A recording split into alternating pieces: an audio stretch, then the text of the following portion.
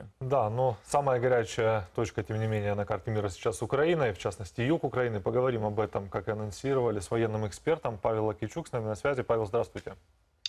Доброе утро. А, Слава Павел, Украине. Героям слава. Последняя новость, которую хотим с вами обсудить в первую очередь. Стало известно, что вооруженные силы Украины выжгли по меньшей мере 6 российских складов боеприпасов в Херсонской области. В то же время ВСУ нанесли 4 авиационных удара по скоплению противника, двух опорных пунктов и складу боеприпасов в Береславском и Херсонском направлениях. То есть ситуация там накаляется, обостряется с, со всех сторон. А Дайте оценку, пожалуйста, тому, что там происходит, э, что вы видите и ну, кто на кого в итоге наступает, потому что сначала говорили о нашем контрнаступлении, сейчас говорят о том, что и а, войска оккупантов готовятся к чему-то нехорошему. Объясните, пожалуйста.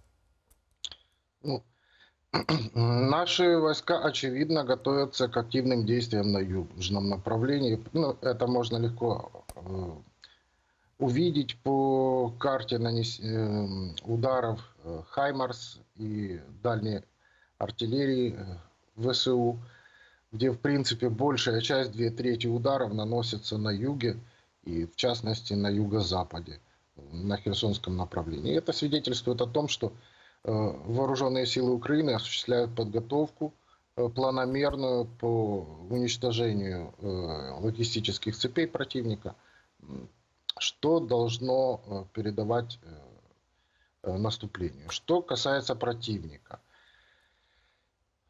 Большая часть, половина, точнее так скажем, половина сил врага сосредоточен, остается сосредоточенной на выступе на Краматорск-Бахмут.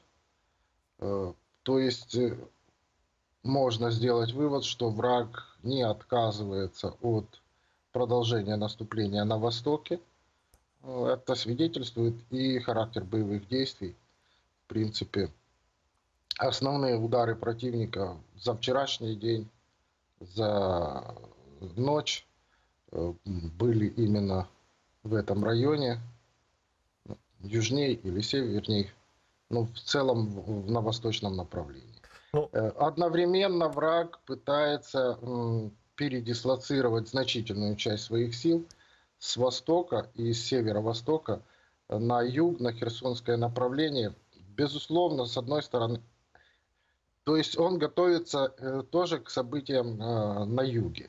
И по форме группировки сил это может быть наступление как на Запорожье, так на, на Николаев и, или на Кривой Рог.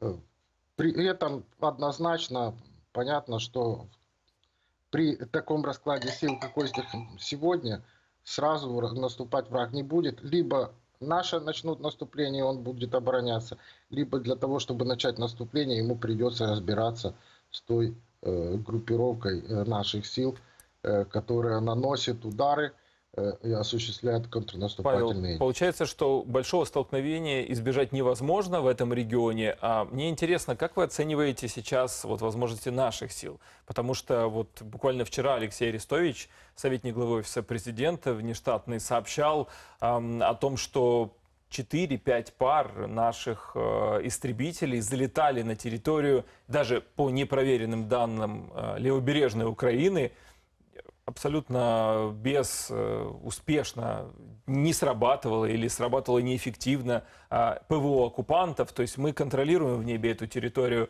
Означает ли это то, что вот их попытка штурма, она обречена на поражение, раз у нас уже есть контроль над небом в этом регионе, чего и даже обсуждать не стоило в первые месяцы войны? Ну, во-первых, повторюсь, попытка штурма может, ну, попытка наступления россиян на этом направлении возможно только тогда, когда они э, как-то смогут нейтрализовать наши, нашу группировку, которая ведет на самом деле медленные такие э, ползучие, я бы сказал, ну, ожесточенные наступательные бои и действия по отсечению э, правобережной группировки противника за Днепром. Поэтому, ну, я не знаю насчет наступления врага на этом направлении. Но мы должны однозначно Украинская понимать... армия готова, Да. А, готова дать достойный Вот мы об этом мы хотим отсечь. как раз об- вот об этом поговорить. Да? Понятно, что украинская армия на тех направлениях, в том числе на тех направлениях, серьезно укрепилась, и а, враг, да, и вот э, родственники некоторых военных российских, которые нас смотрят, должны понимать, что любое движение в сторону там, а, Николаева, Кривого Рога а, будет стоить российской армии очень дорого. Да? Можете оценить, а, как много сейчас там сконцентрировано войск и как много может быть уничтожено вот этой хорошо эшелонированной украинской обороной? Ну, я даже говорил бы, нехорошо эшелонированной украинской обороны, я бы сказал, что украинская армия тоже готовится к наступлению на этом направлении, о чем свидетельствуют не только э, попытки и успешные попытки э, овладения рядом плацдармов э, на э, левом берегу Днепра, так и э, отсечение той группировки сил, э, сил, которая скопилась на правом берегу Днепра в районе Херсона, э, разрушение ее логистики. Э, Это значит, что враг может оказаться в мешке, и это, это группировка сил, которую, которая вполне может э, быть отрезана от россиян, э, она значительно больше у них, чем даже та, которую они- группировка сил, вооруженных сил Украины, которую они э, окружили в свое время в Мариуполе. Это будет серьезный удар по противнику. Павел, Не хочу заглядывать наперед, но это может быть и переломный момент всей военной операции. Мгм. Да, будем этого ждать. Э, Конечно же, в первую очередь э, для того, чтобы отметить успехи наших военных. Павел, а была также информация ранее о том, что на 11 сентября, то на 15 сентября оккупант готовит референдум на Херсонщине. Но вот опять-таки, ссылаясь на слова Алексея Арестовича, есть информация о том, что до Дня независимости Украины якобы оккупант хочет провести так называемый референдум. Такой привет передать э, нам на 24 августа, в день празднования э, Дня независимости Украины. А, Скажите, могут ли, ли быть у них вот такие мотивы по максимуму захватить территории в ходе тяжелых боев для того, чтобы быстро провести там референдум? Верите ли вы в Ну, такой понятно. возможный сценарий?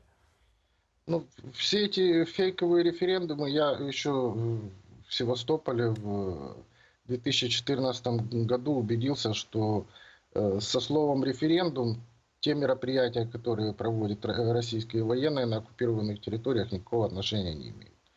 Вспомним 2014 год, фактически э, к референдуму готовились на бумаге, э, готовили резу- готовили его резу- результаты без участия э, са- самих голосующих, несколько раз их отвозили в Москву, вот, и пока их э, не утвердили в Москве, несколько раз переносили сроки этого референдума, и это абсолютно было не, э, никак не связано с самим процессом голосования. Павел, я Ну. прошу прощения, скорректирую просто вопрос. Мы вопрос э, легитимности этого референдума, конечно же, не ставим вообще как, да, как предмет разбора, потому что ну, это ясно, что это оккупация в первую очередь. А к вам, как военному эксперту, интересна ваша точка зрения, могут ли Россия сделать ставку на последний бой, после которого они попытаются зафиксироваться этим референдумом, и все. Вот в такой сценарий и ход вы верите? Вполне, вполне верю. На самом деле, еще раз повторюсь, референдум э, как э, такая точка им э, не очень нужен. Они могут огласить его в любой день, даже сегодня, завтра или послезавтра. Понятно. Понятно. Спасибо, Павел, военный эксперт Павел Акичук э, с нами был на связи. Спасибо.